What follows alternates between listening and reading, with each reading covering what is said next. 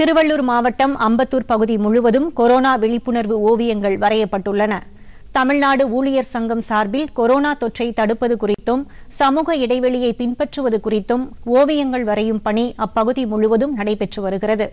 Corona தொற்றை தடுக்க ஊரடங்கு உத்தரவு அமல்படுத்தப்பட்டுள்ள நிலையில் சிலர் ஊரடங்கை மீறி இருசக்கர வாகனங்களில் சுற்றி வருகின்றனர்.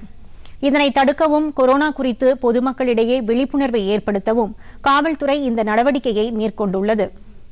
இந்நிலையில் அம்பத்தூர் பிஎல் பள்ளி வளாகம் அருகே வரையப்பட்டுள்ள ஓவியத்திற்கு முன்பாக காவலர்கள் ஓவியர்கள் மற்றும் பொதுமக்கள் விழித்திரு வீட்டிலிரு தனித்திரு என்று கூறி உறுதிமொழி ஏற்றனர்.